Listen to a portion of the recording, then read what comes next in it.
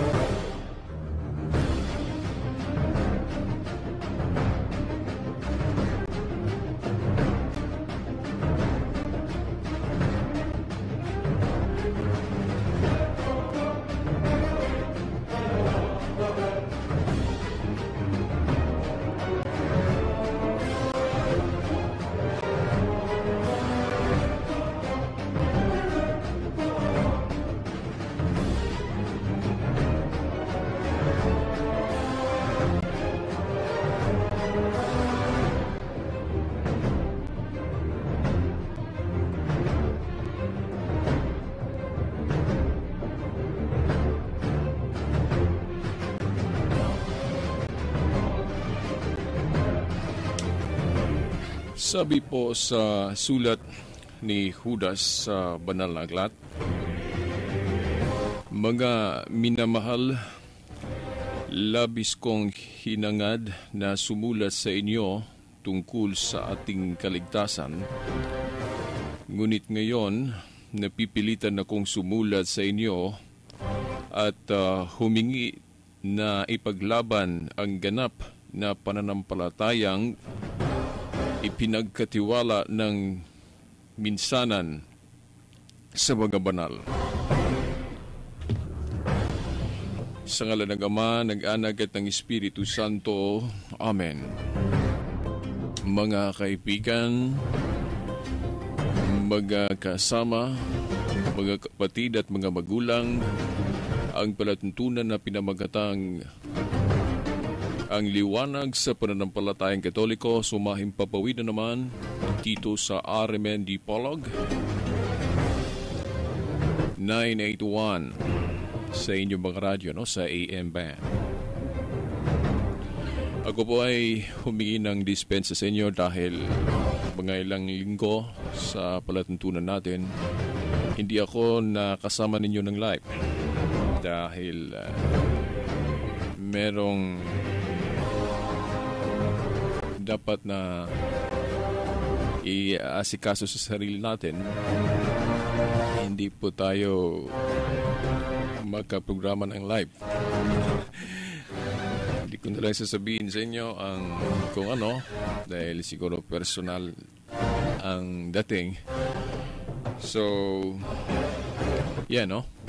Merong reason tayo, merong rason tayo na hindi ako nakasama ninyo ng live sa mga nakaraang linggo sa ating palatuntunan. By the way, no, mga kaibigan at mga kapatid, uh, muntik kong nakalimutan, malaking pagdiriwang ang ginanap ngayon sa ating uh, simbahan katoliko. Ang Easter Sunday. No? Happy Easter Sunday po sa inyong lahat. Mga kaibigan at mga kapatid, talagang kapag uh, sasapit na ang panahon ng uh, Holy Week mga kaibigan at mga kapatid, hindi po natin makalimutan itong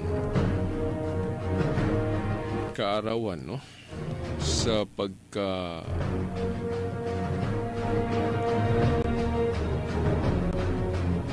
buhay, muling pagkabuhay sa ating Panginoong Heso Kristo. Alam naman natin na siya ay namatay para sa ating mga kasalanan at nabuhay para mabigyan tayo ng hope na hindi po mali o talagang totoo ang ating pala, pananampalatayang kristyano. So binigyan tayo ng sign na talagang hindi ano, a lie, hindi sinungaling ang pananampalatayang kristyano. At ito'y nasaksihan noon, no? noong uh, the first century o unang uh, siglo. So kaya nga tayo mga Kristiyano, very sure tayo, no? Uh, piho tayo, no? Very sure tayo sa ating pananampalataya. At hindi lang sa itong pagka muling pagkabuhay ng ating Panginoong Hesus Kristo, kundi yung nung nangyayari pa noon before sa panahon ng ating Panginoong Hesus Kristo, shall we example, back to sa matandang tipan, Old Testament, maraming mga miracles na ipinakikita ng Diyos sa uh, bayang Israel. At uh, nagpatuloy ang mga milagro na pinakita niya. Even ngayon, no? Even ngayon, mga kaibigan, mga kapatid, uh, like for example, ang ating magisterium no, ng simbahan, uh, merong nakanonize na mga santo at hindi lang noon at uh, hindi humihinto ang pagkanonize ng uh, mga santo sa ating simbahan dahil meron talagang patuloy na pinakikita ng Diyos na mga milagro para mapagtibay ang ating pananampalatayang Kristiyano, Kristiyanong Katoliko.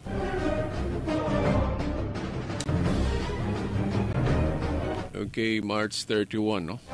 Huling araw ngayon sa buwan ng Marso. March 31. Okay, 2013. By the way, no, sa, uh, hindi pa tayo magpatuloy sa ating palatuntunan ngayon. No? Hindi pa tayo naka, nabigay sa inyo ng paksa. Uh, ibig ko munang ipaalam sa inyo ang ating bagong number no sa mobile no sa cellphone dahil sa mga nakaraang araw wala tayong cellphone na nagamit. Nasira kasi yung cellphone natin na ginamit noon at hindi tayo agad naka-provide ng uh, hindi tayo naka-provide agad. At uh, bago lang no?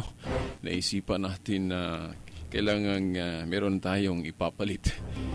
Dahil ang communication ngayon kinakailangan natin especially nasa panahon tayo na na tinatawag nating very high-tech. At talagang uh, papasok tayo diyan no? Sasali tayo diyan. Of course with guidance naman no? Dahil yung mga makabagong komunikasyon natin kung gagamitin natin ito sa masama, hindi ma-glorify ang ating Panginoong Diyos, eh talagang walang kabuluhan ito.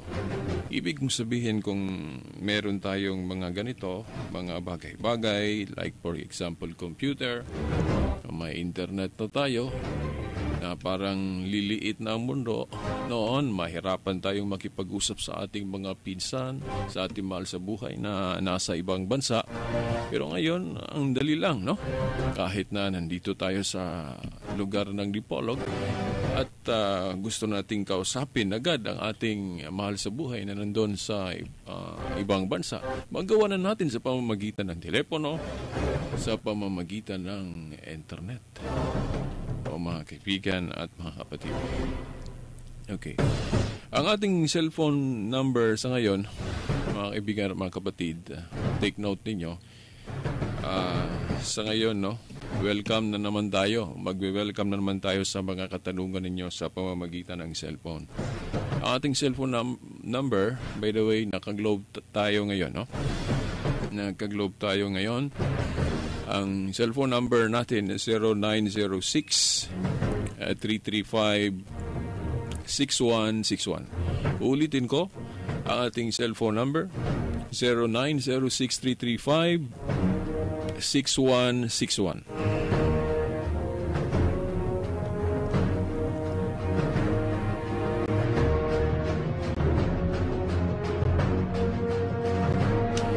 Kaibigan, mga kapatid, uh, pasensya uh, sa mga nakikinig ngayon sa live stream dahil may problema ang ating live stream ngayon dito. hindi pa natin na fix dahil ah, mag-restart pa tayo sa computer. Matagalan na tayo maputol. so, pasensya sa mga nakikinig ngayon sa live stream. Pero naka-record ang ating programa ngayon sa sa audio lang.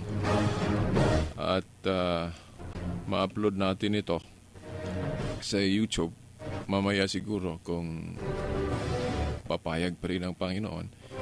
So meron tayong document sa palatuntunan natin ngayon.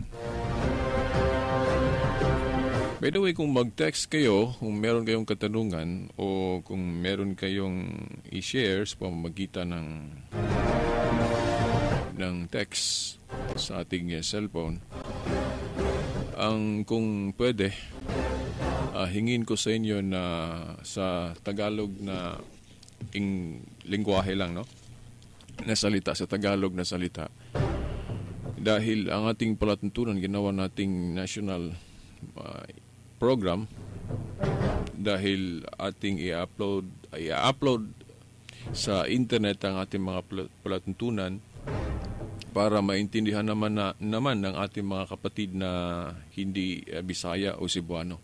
Ibig sabihin ng ating mga kapatid na Tagalog na naninirahan sa Maynila o sa mga lugar na ang ginamit nilang salita ay Tagalog.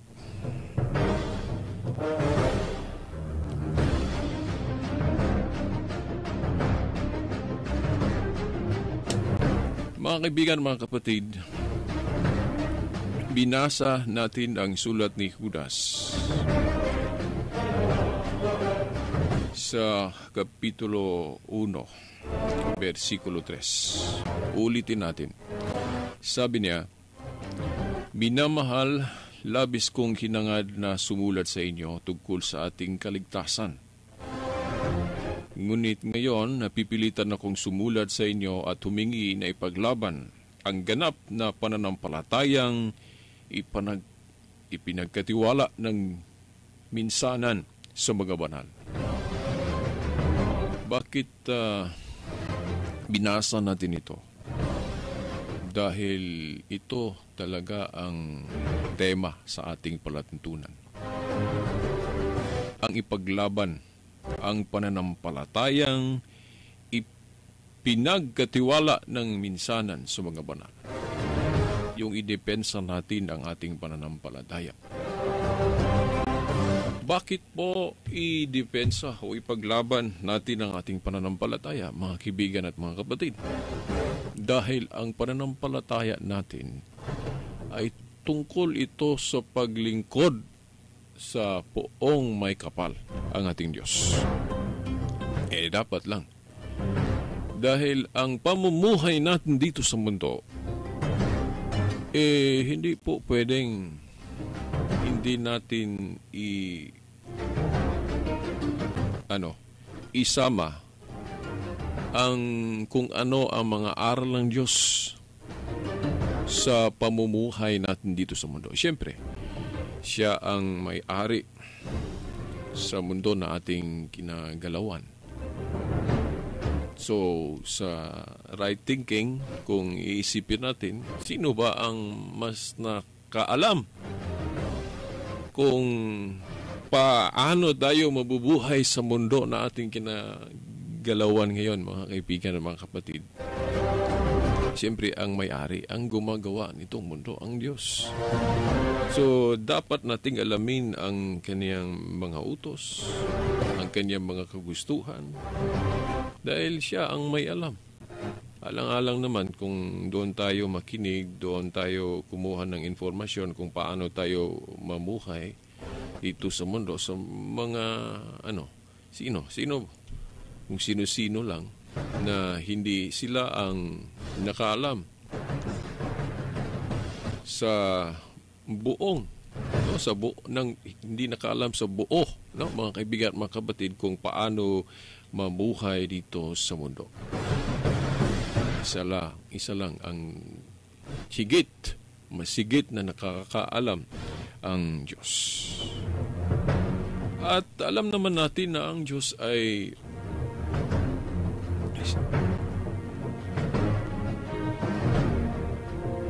meron siyang paraan kung paano niya na-reveal o na ihayag ang kaniyang will o kaniyang baga kagustuhan ang mga, ang mga utos niya.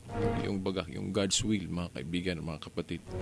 Yung tinatawag nating uh, revelation.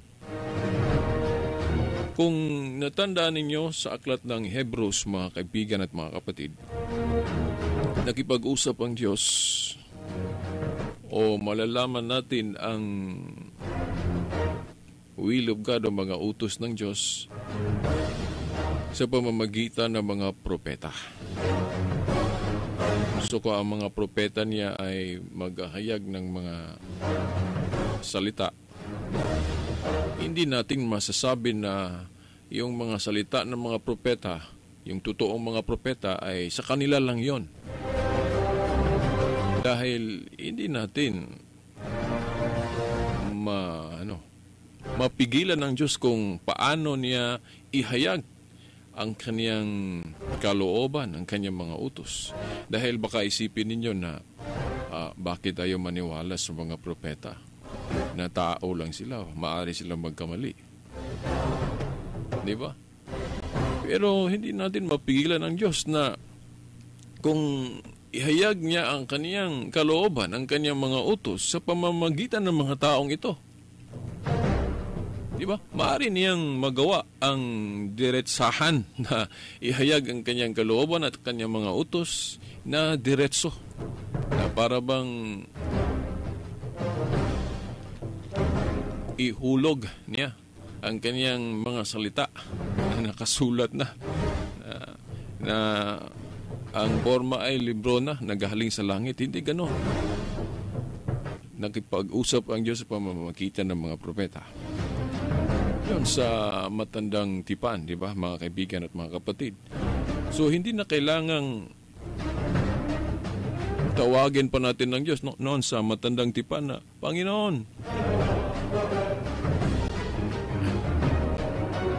makipag-usap ka sa amin ng harapan. Hindi na ganun dahil sa- sabi ng banal na aklat na nakipag-usap ang Diyos sa pamamagitan ng mga propeta. Meron siyang piniling mga tao na pinaalam niya kung, kan, kung, ano ang kalooban niya, kung ano ang mga utos niya. Iba mga kaibigan at mga kapatid. At ang mga propeta na ang nagsasabi. So bakit tayo maniwala sa mga pinagsasabi ng mga propeta noon? Dahil ang Diyos ang source sa kanilang mga sinasalita. So kapani-paniwala ang mga sinasabi, ang mga hula o mga propeseya nila dahil ang Diyos ang nagdikta. Ang Diyos ang author. Parang ginamit lang sila ba? Para bang yung, for example, yung, yung walis. Bakit makalinis ang walis? Na hindi naman yan buhay. Wala naman ng, wala mang, wala mang buhay ang walis, pero bakit gumagalaw? Dahil may taong gumamit. Oh. Gumamit nito. Kinakasangkapan, no? Hinawakan ng walis, tapos ginamit sa paglinis. Iyan, ginamit ang mga propeta ng Diyos na mahayag ang ah, kalooban niya, mga utos niya. So hindi na kailangang tawa, tatawagin pa natin ang Diyos sa langit na bumaba at makipag-usap. Hindi naman tayo pwedeng magdikta sa Diyos. Hindi naman tayong pwedeng magdikta sa Diyos. Kung ano ang paraan niya sa pagkahayag, talagang ah, susundin natin. Yon sa matandang tipan. Pagdating ng bagong tipan sa New Testament, nasa aklat ng Hebrews, kung nabasa ninyo ang aklat ng Hebrews, nakipag-usap ang Diyos sa pamamagitan ng kaniyang bugtong na anak, ang ating Panginoong Heso Kristo. ang founder ng Christianity. So, nung nagpakatao ang Diyos, yung ikalawang persona sa Diyos, ang salita o ang ating Panginoon Heso Kristo, nagkatawang tao. So, siya na ang ating pakinggan. Pero kita ah, tayo ngayon, na hindi tayo nakakita kay Jesus ng personal, pero yung mga tao, per- ah, halimbawa ang mga mga apostoles sa unang siglo, nakita nila ang Panginoon, nakita ng mga apostol ang ating Panginoon. So, nalaman nila ang kung ano ang salita ng Diyos ang kumpletong salita ng Diyos sa mamamagitan ng ating Panginoong Heso Kristo na ating ipinagdiriwang ngayon ang kanyang muling ah, pagkabuhay, kanyang resurrection, di ba mga kaibigan, mga kapatid? So, yung mga apostoles niya, kung ano ang mga tinuturo nilang galing sa ating Panginoong Heso Kristo, kailangan nating paniwalaan.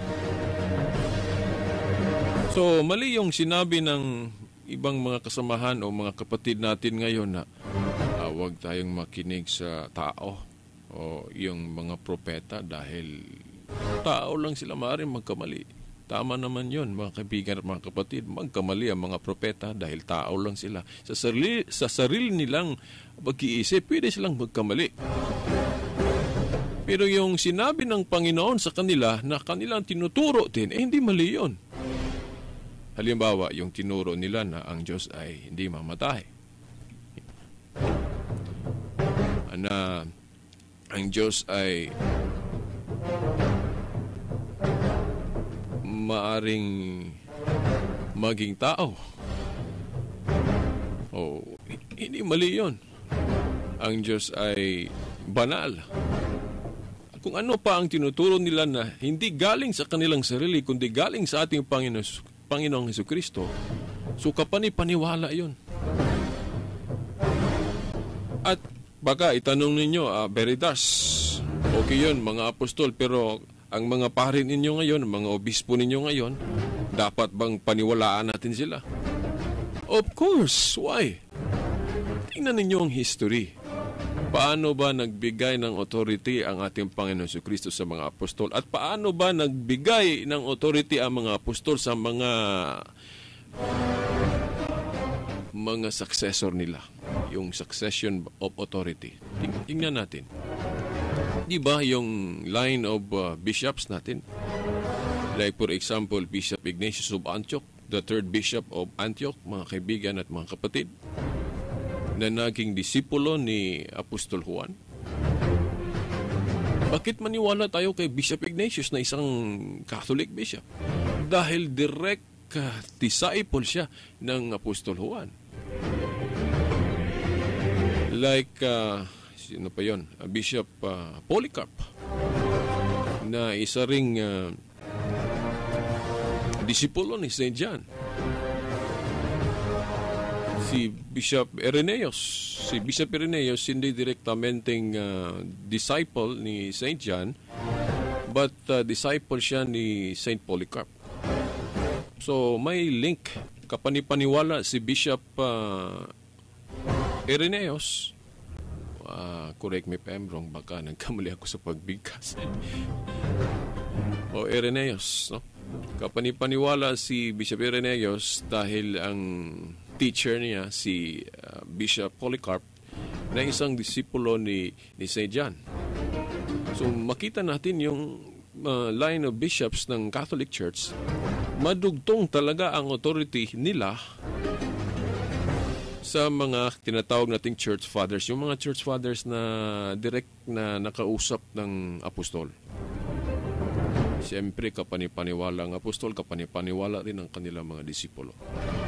Hindi katulad sa mga ibang mga mga mga ngaral ngayon na hindi naka nakausap ng personal ang unang apostol ng ating Panginoong Kristo.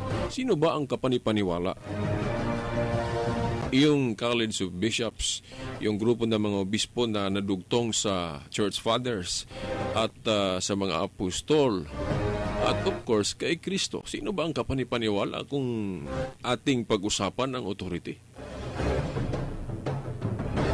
Of course, maraming ah, pangyayari sa loob ng ating simbahan ngayon na parang question mark o parang mga tanong na kung totoo ang simbahang katoliko, bakit maraming mga abuso? Mga kaibigan at mga kapatid, hindi naman sinabi ng Panginoon na sa kanyang simbahan dito sa mundo, sa hindi pa mangyari ang the last judgment, hindi naman sinabi niya na walang pwedeng lalabag sa kanyang mga utos. Merong mga miyembro na talagang lalabag dahil hindi sila robot. Hindi naman sila pinilit na mamuhay ng husto, mamuhay ng kabanalan. Merong mga miyembro talagang hindi susunod kaya nagkamali, nagkasala. Pero hindi naman lahat. Kitang-kita naman yan sa history. Marami namang kristyanong katoliko ang mababait. Ang preba dyan, yung mga canonized saint natin, di ba? O, ang problema ngayon sa mga ibang kapatid natin, iniwanan nila ang katoliko dahil sa mga abuses daw, dahil sa mga hindi ah, mabuting mga pare, hindi mabuting obispo. Iniwanan nila sa kamalian lang ng ah, mga miyembro sa loob ng simbahan. Hindi nila binigyan ng pansin yung ano ang maganda sa ating simbahang katoliko. Yung mga katuruan, iba kasi yung katuruan at iba rin yung mga abuso, mga kaibigan at mga kapatid.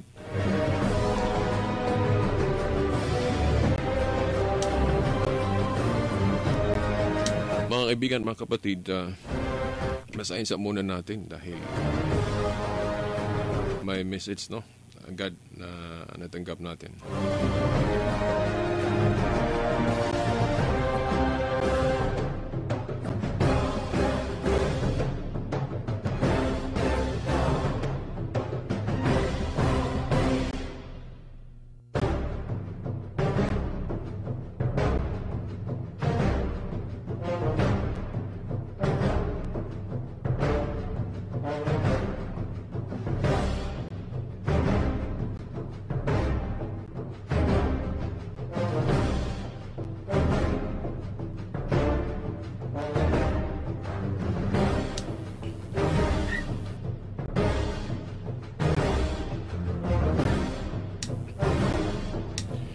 Okay, basahin natin ang text message.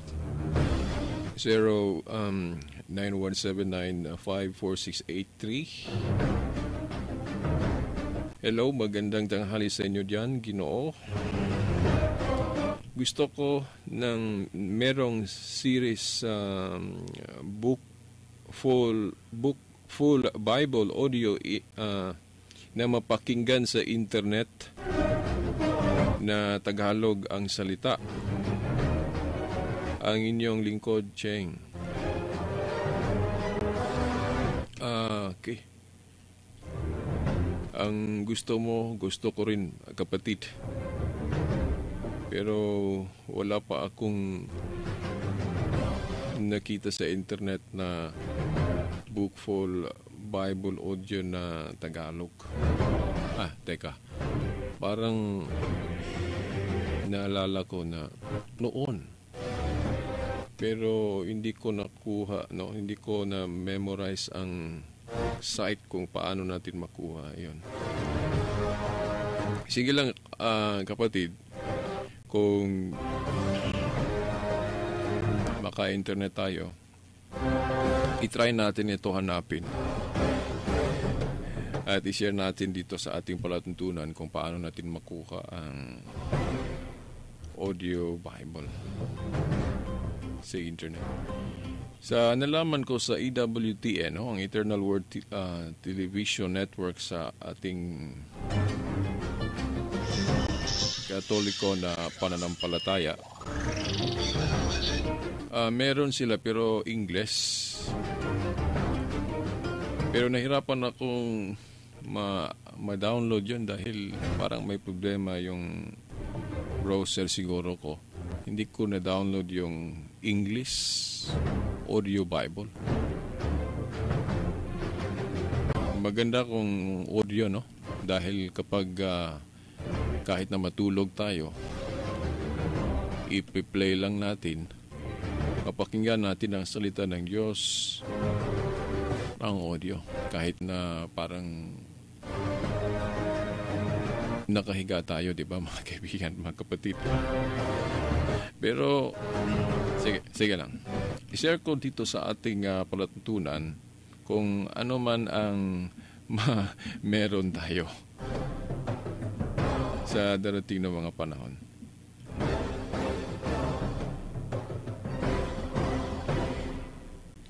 Okay, uh, uh, meron namang text message agad na natanggap natin. Pasensya na sa yung ibang nakikinig ngayon na nakapokus sa pinag-usapan natin.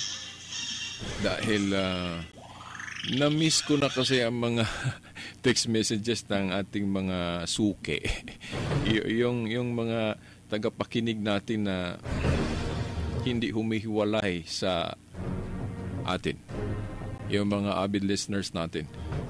So, kaya gusto kong babasahin lahat kung meron pa tayong oras kung magte-text sila o kayo na nakikinig ngayon.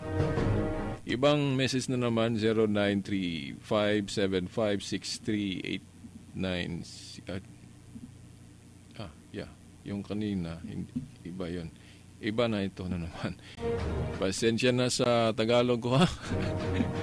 hindi pa tayo expert sa Tagalog pero talagang pilitin natin para lang ma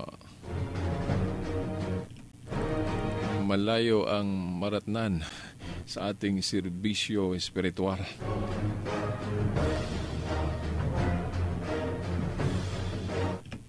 Ah, nangumusta lang isang mensahe dito na nabasa ko. Musta na kuya? Ah, dito. Salamat sa pagkumusta. Ay, kuya, good afternoon na naman. Iba, ano? Okay, salamat, no? Kala ko may tanong o may gustong i-share.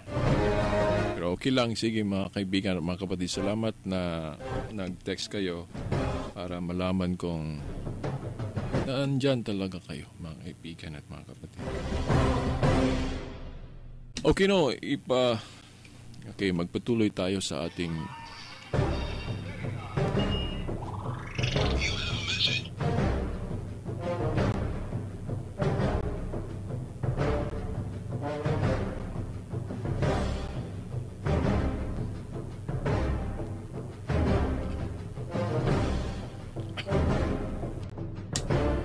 Hello na naman. Magandang tanghali po sa iyo diyan, Ginoo. Maraming salamat sa pagpasa po. At tama ang mga sinasabi mo ngayon. Ang iyong lingkod, ah, si Cheng. Bumalik. Salamat, ah, kapatid na Cheng. Cheng, Cheng ba o Cheng?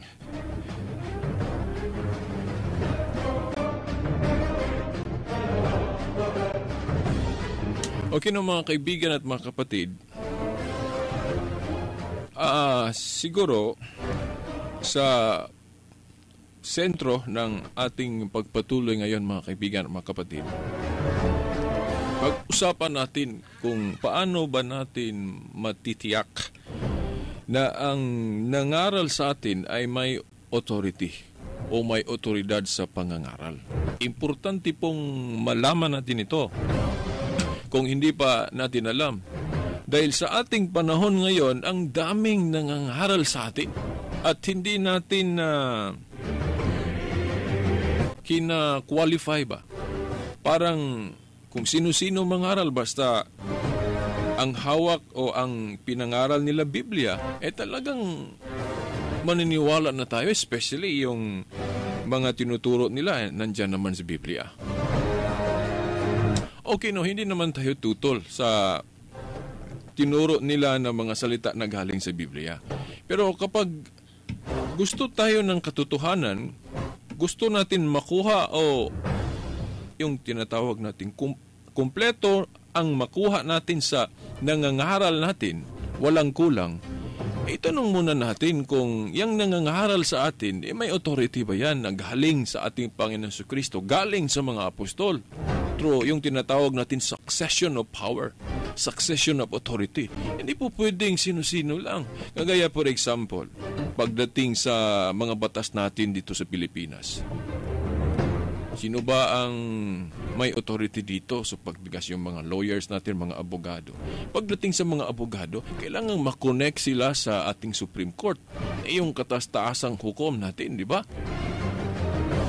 So, yung magdidebate na tayo sa batas, eh talagang ang final say ng kanilang salita ay talagang yun ang binding at final, hindi tayong kokontra yung pronouncement ng Supreme Court, di ba mga kaibigan mga kapatid? Ibig sabihin, yung final authority ng, authority ng Biblia, talagang yun ang papaniwalaan natin.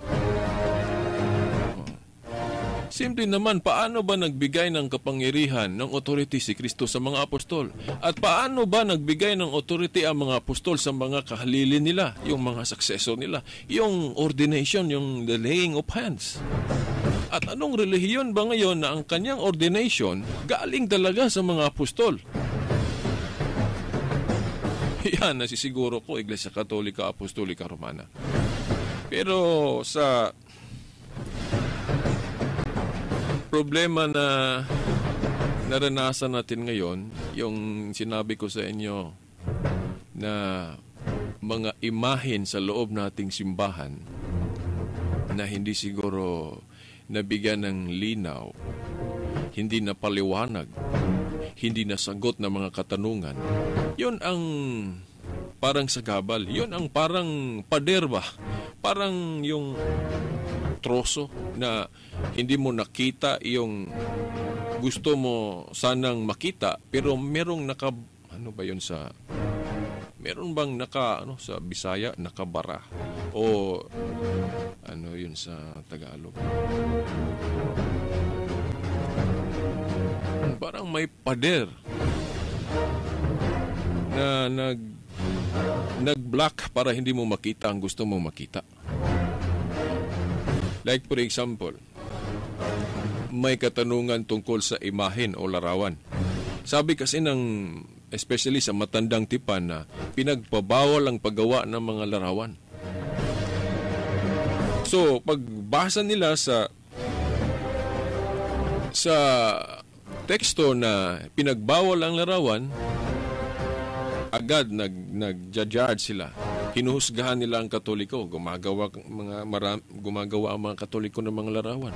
Eh so sino supil o hindi sinunod ng mga Katoliko ang utos ng Diyos na huwag gagawa ng mga imahen o mga ribulto. Ano naman ang sinabi ng authority o ano naman ang tinuturo ng Iglesia Katolika? Yung sinasabi natin na yung magisterium o Supreme Court ng Biblia kung ating uh, pag-aralan ng Biblia mga kaibigan at mga kapatid. Talagang mga ari nitong Biblia ay katoliko. Dahil yung ibang mga religion na tanggap nila ang Biblia galing sa katoliko kung kung ating susuriin ang ang history mga kaibigan at mga kapatid. Inamin yon ni Martin Luther, yung ama ng protestantismo. Sabi niya, kung wala pa ang mga papista, hindi daw natin matanggap itong salita ng Diyos. Eh talagang galing sa katoliko ang mga Bibliang hinawakan natin. Kung meron mang Biblia ang mga saksi ni Oba na tinatranslate nila yung uh, sarili nilang translation, pero ang, ang, ang tanong, saan ba galing? yung tinatranslate nila. Iba kung tingnan natin sa history, katoliko galing. Dahil yung mga monks natin, mga katoliko natin noon, ang naghawak nito mga kaibigan at mga kapatid. Sabi pa yung iba, merong panahon na hindi daw pinabasa, pinababasa ang Biblia sa sa publiko. Dahil uh, hindi daw gusto ng simbahan na malaman ang buong katotohanan. Dahil kapag malaman ang buong katotohanan, kung ano ang tinuro ng Biblia, ay talagang hiwalayan ang ang pagkakatoliko.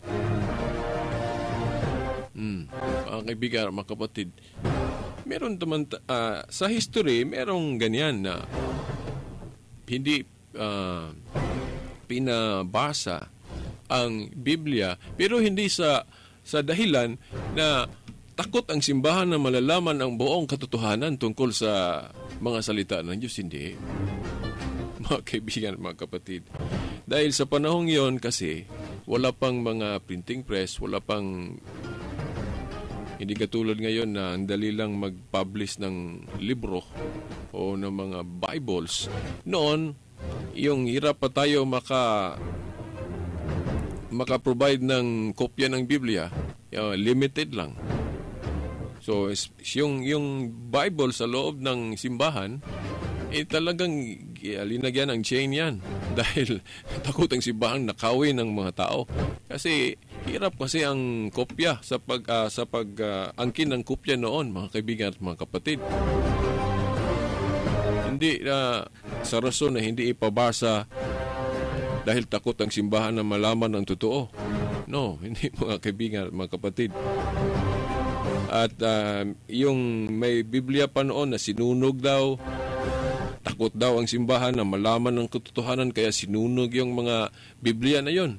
Hindi naman yun ang ang ang rason kung bakit sinunog ang mga mga Bibliang yon. Ang rason na sinunog yon dahil yung hubad yon ng kung hindi ko nakalimutan yung si John Wycliffe ba yun o yung isang protestante na nag-translate ng Bible na may ano tini ah, may translation yan na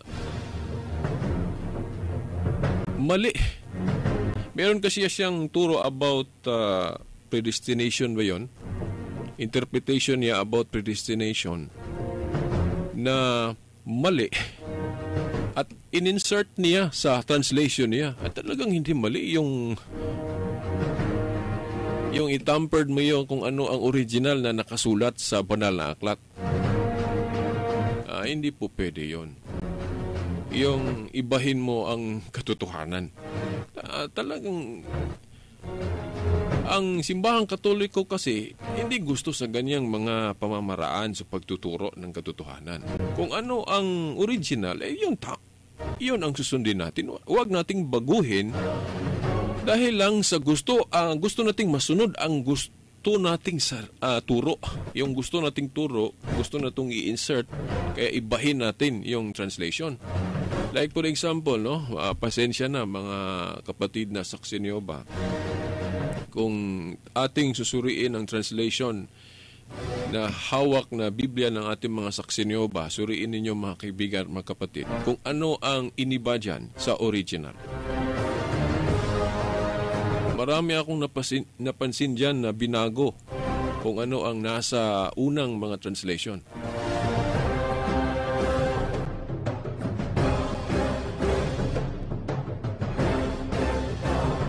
Okay, mga kaibigan, mga kapatid, yung example natin sa pag-intindi tungkol sa mga imahen at mga ribulto, ang turo ng simbahang katoliko ay ito. Hindi po lahat ng paggawa ng larawan ay masama. Yung sinabi ng Biblia na masama ang paggawa ng larawan at mga ribulto, masama kung gawing Diyos ng tao ang mga itong, ang mga bagay na ito.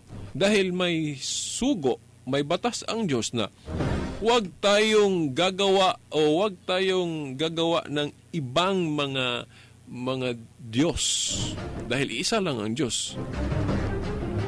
Yung mga tao kasi noon, ah, hindi ko alam kung meron pa ba ngayon, na gagawa ng mga bagay, gagawa ng ribulto o larawan na gawin nilang Diyos ang mga bagay na ito. Parang kompetensya sa Diyos na totoo. Eh mali yon. Yun ang ibig sabihin na mali ang paggawa ng mga ng mga larawan at mga ribulto na ang rason gagawing Diyos ang mga bagay na ito. Pero ang paggawa ng mga larawan at mga ribulto na parang decoration lang o yung gagamitin lang natin ito sa pag ah, ano ba yun?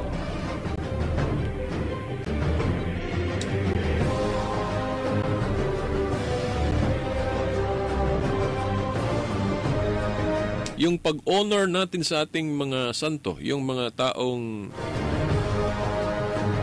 bayani sa pananampalataya.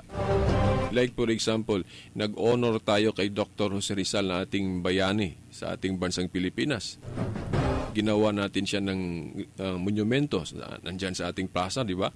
Hindi mali yon dahil hindi naman ginawa nating Diyos ang monumento ni Rizal nandyan sa ating plaza.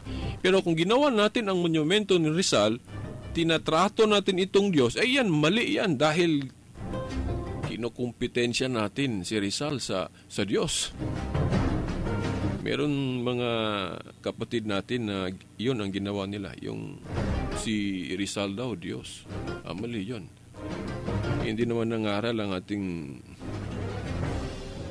bayaning Dr. Jose Rizal na siya ay Diyos. At kung totoong Diyos si Rizal,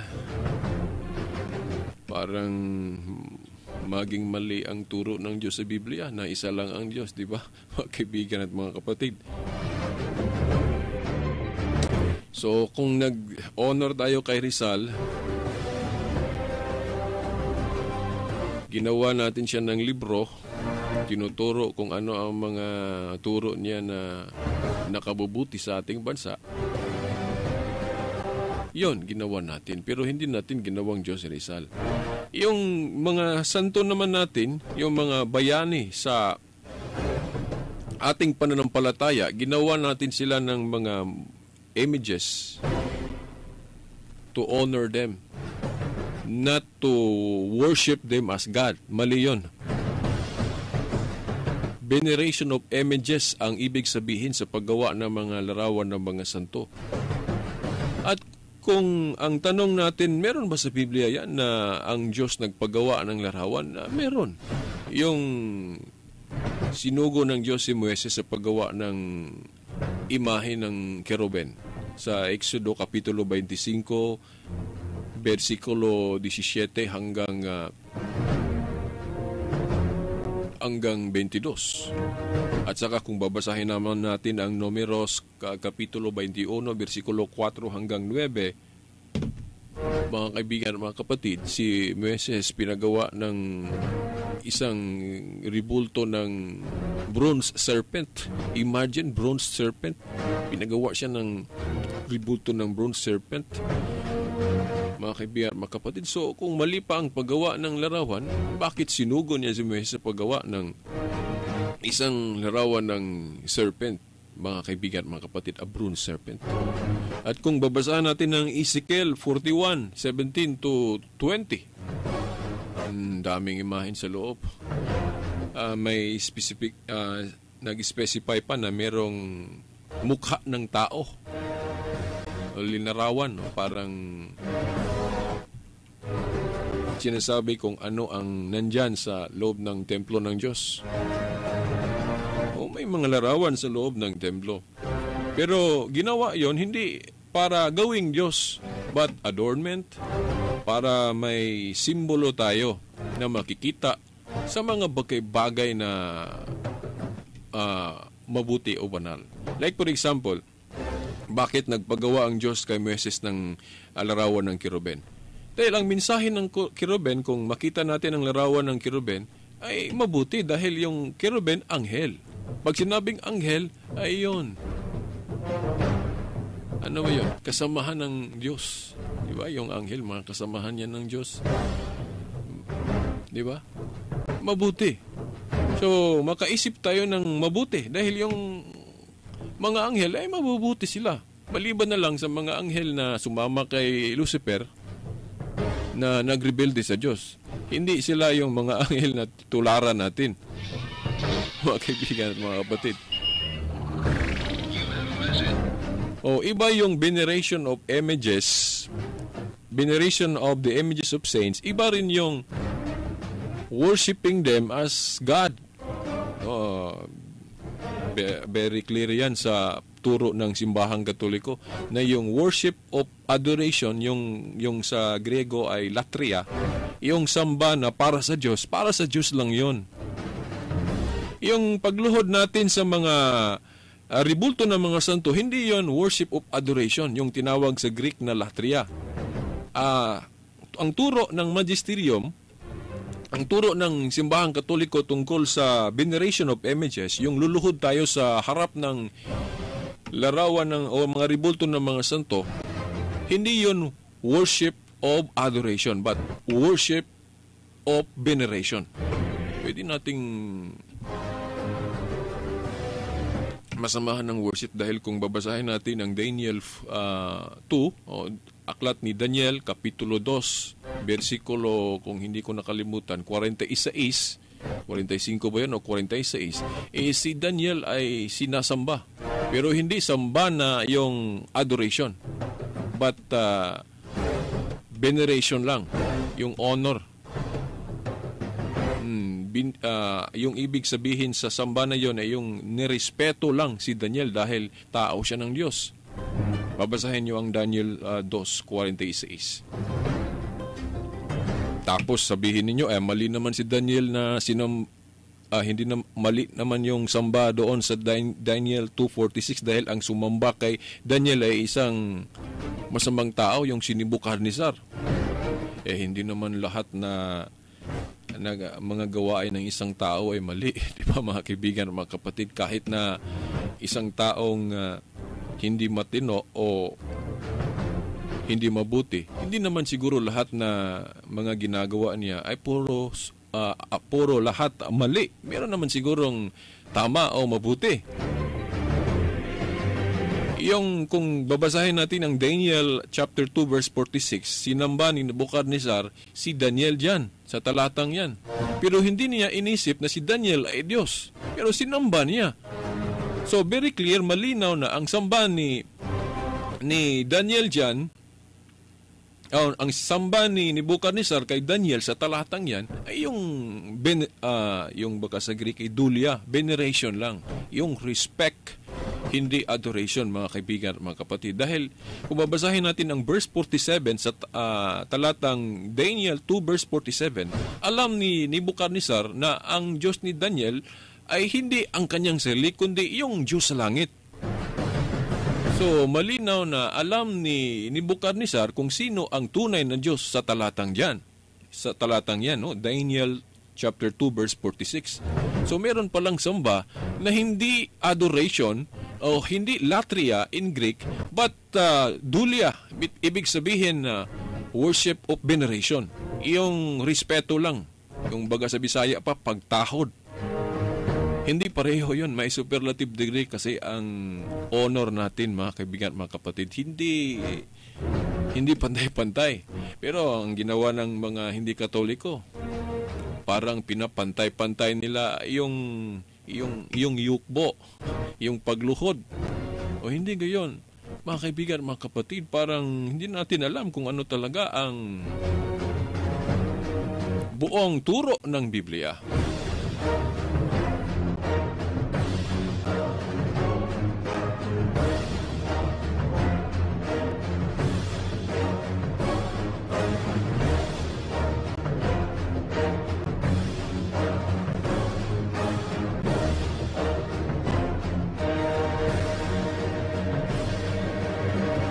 Okay, no, uh, may nag-text sa atin dito na parang ipabasa ang kapitulo 1 uh, hanggang 39 sa Isayas. Uh, uh, sorry no kapatid dahil kaunti na lang ang panahon no oras natin. Hindi ko na lang basahin ito. Baka sa susunod babasahin ko ito.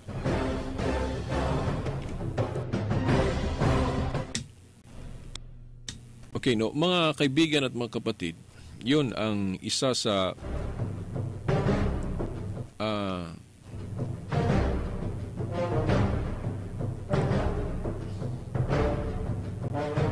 yun ang isa sa palatandaan natin kung magsuri tayo kung sino sa panahon ngayon, sino sa mga mangangaral sa panahon ngayon ang dapat nating paniwalaan.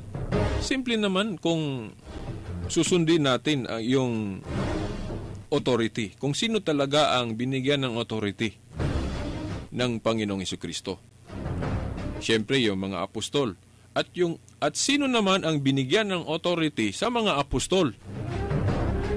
At saka yung binigyan ng mga apostol ang authority, yung sila naman, sino naman ang binigyan nila na kasunod nila? May succession of authority kasi diyan. Sa Supreme Court, ganun din. Sa ating bansang Pilipinas. Kung palitan na ang Chief Justice natin, oh, merong proseso diyan. Hindi pwede na babasa tayo ng libro ng law, law books, libro ng batas, tapos ah, matalino na tayo dahil marami na tayong nabasa ng mga batas, dahil ah, agawin na natin ang ang ano authority ng Chief Just, Chief Justice natin ngayon dahil matalino na tayo, hindi pwede 'yun. Ay proseso na maging Chief Justice tayo. Hindi kahit hindi kahit sino lang na ah, matalino, Chief Justice ka na. Dahil alam mo nang maghayag ng at magpaliwanag ng mga batas, hindi. Yun, no, mga kaibigan, mga kapatid, yang nangaral ba sa inyo ngayon, ang ordination niya, ang authority ba, ang authority ba niya galing ba sa mga apostol, galing ba sa ating Panginoong Hesus Kristo? Okay, tingnan ninyo sa simbahang katoliko. Tingnan ninyo sa history, saan nang kagaling ang kanyang authority. Sa ating napag-alaman, for example, ang ating mga kapatid na Iglesia ni Kristo, huwag lang sanang magagalit. Kung totoo na ang Iglesia ni Kristo ni Ixon Felix Manalo ay totoong iglesia, sino ba ang nagbigay kay Ixon Felix Manalo ng authority? Sa napag-alaman natin, mga kaibigan, mga kapatid, si Ixon Felix Manalo, isang katoliko. At ah, humiwalay sa katoliko dahil hindi niya lubos na nauunawaan ng katoliko, sumama sa ibang religion. Ang dami pang sinamahan niyang religion. Tapos ah, hanggang sa gumawa siya ng isang religion na ang may-ari ay kaniya na na tinatawag na Iglesia ni Cristo. Ginamit yung nakasulat sa Roma 16.16. Very interesting, no? Ginamit ang Roma 16.16 na Iglesia ni Cristo na iba yung Iglesia ni Cristo na, sina, ni, na sinabi ni Apostol Pablo. Roma 16.16. Iglesia ni Cristo yon sa Roma noong first century, unang siglo. Yung Iglesia ni Cristo nila, 1914. So iba ang Iglesia ni Cristo na natatag sa 1914, iba yung Iglesia ni Cristo na uh, nandun sa Roma noon, sa unang siglo. Sa Roma 16.16. Na kung suriin natin, yung Iglesia ni Cristo na yon, yon ay katoliko na ngayon. Dahil uh, pinangalan ng katoliko ang Iglesia ni Cristo noon, mga kaibigan mga kapatid. Binasa pa naman nila yan sa aklat ni, ng isang pari na si Edward Taylor na ang Iglesia ni Cristo pinangalan ng katoliko. Therefore, ang Iglesia ni Cristo na Iglesia ni Kristong tunay ay ang katoliko. Hindi po magkaiba. Halimbawa, si Simon, tinawag na Pedro. Hindi magkaiba si Simon at Pedro, iisa lang. So ang tunay na Iglesia ni Kristo at Katoliko ay yung itong sinamahan natin ngayon mga kaibigan, mga kapatid.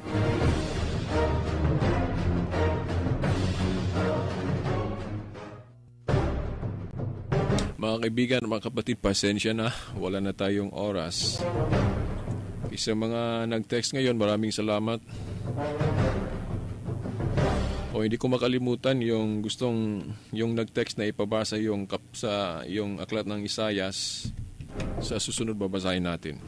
Kung papayag pa rin ng Panginoon na magpatuloy ating palatuntunan. Pero hindi ko makasiguro na makalive tayo sa Sunday. Baka may ibang instruction na maka kailangan pupunta tayo ng Dumaguete. So, hindi lang na ako, hindi na ako mangako. Baka hindi matuloy. So, antayin lang, no? Dito sa, kung maka-live program tayo, mga kaibigan, mga kapatid. Okay, sa ngalan ng ating mahal na ina, Mama Mary, at mga santo sa langit, mga kaibigan at mga kapatid. Itong kapatid na Shelbert Tundoyano Sr. alias Berita sa palatuntunang ang liwanag sa pananampalatayang katoliko hanggang sa susunod na palatuntunan, na, palatuntunan natin. Sa ngalan ng Ama, ng Anak at ng Espiritu Santo. Amen.